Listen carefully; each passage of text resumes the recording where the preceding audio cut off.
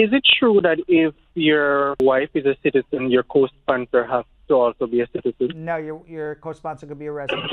Because I was I was told by um, told a lawyer told- actually that were- I have you- you like I have to get a, a citizen to do it. then you were told wrong. It could be a citizen or a permanent resident of the United States.